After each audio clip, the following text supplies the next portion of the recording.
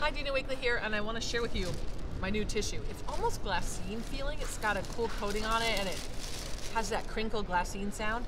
And we have a couple different op options for you. You can get the big sheets, and you get a bunch of different prints and some blank sheets, and you can get the three by three inch quotes. You get 20 sheets of the quotes, and it is so fun to, to mess about with in your journal. And you can use gel medium to glue this in, and it will go perfectly flat. I thought I'd show you. So here are a couple pages happening here.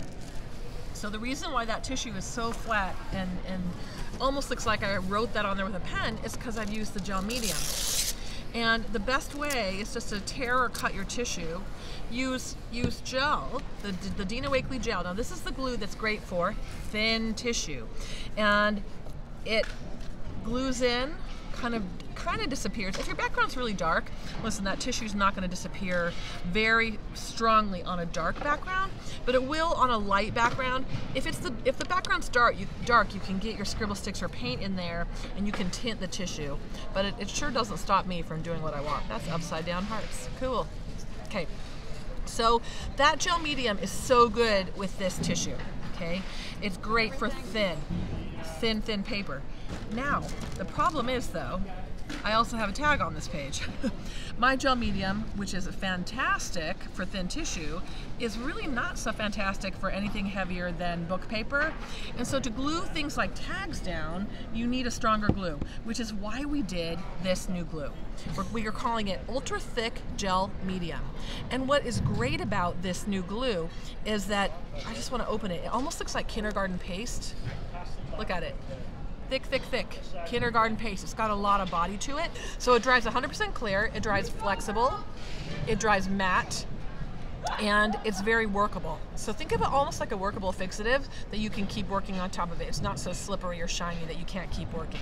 And I know it seems white, and it is white because it has a mattifying powder in it, but when it's dry, it'll be it, uh, it really will be totally clear. So if when I have something heavy that I want to go here, I can I can use this thick glue. So let's say I have this, this tag here and I want to add it to the page. I've already glued some cool um, quotes on there. And I just want the quotes maybe, not the whole tag. Well, this is thick and heavy. So I'm going to put a little bit of glue. My favorite gluing method is finger. put a little glue, put that on there. Now this glue has a little bit of give, so that if I if I put that there and think, oh shoot, I wish I wouldn't have put it right there, I can slide it for a minute. Um, and you know, if I don't want it, if I if I don't want it to move, I just go away, come back, and that will be stuck right? That tag was already curly and I didn't glue the edges, which is why it's popping up. But just give it a second and that glue will, will have an incredibly strong bond and it will hold. As you turn to the canvas and the burlap in the journal, so if I have this burlap and I want to glue a tag to it, which glue are you going to use? Ultra thick, right? Uh, if I have this page and I want to glue something heavy to it, which glue am I going to use? Ultra thick. So choose gel medium when it's dictionary weight or lighter, ultra thick for everything else, but they both have similar properties. I want to show you two the new Scribble Sticks colors. Awesome, awesome, awesome. So that's set number two. Don't forget the original set. When, how to know the difference is the original set has white. Look for the white on the tin. That white stick is it means it's that's the original set, which are fantastic. And the new set has five out of the six new colors. We didn't do buff because it was really similar to white. So, uh, and then it has the colors that we missed. So that elusive cheddar. Everybody's like, Dina, when are you doing a cheddar stick?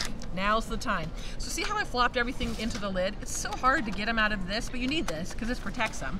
So I store them in the white molded container and then I pop them into the lid when I want to grab them. And the stick, look at cheddar. Do you not want to just marry it and have its babies? So good.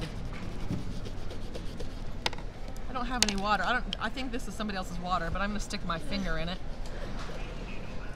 So those are water soluble pigment, of course, and I can get incredible intense color with the sticks. So the cheddar's on there. The other colors that are on this drawing, that's lapis. So we included lapis, and it is this beautiful dark royal blue. Isn't that great? This is a, the fuchsia stick, which you're going to have. You're going to have eggplant, peacock, marine, all of the oh, an olive. Oh my gosh! Look what look what happens to olive. So olive is a wonderful yellow green. Then when you wet it, it turns chartreuse. Do you not want to die and go to heaven? Look at that! So I absolutely love the olive stick. So I can't wait to see. These are going to be great in combination with set number one, and they're going to give you another depth of color that, that, that, that we just didn't have before. So new scribble sticks are awesome. The new glue, I think you're really going to love it.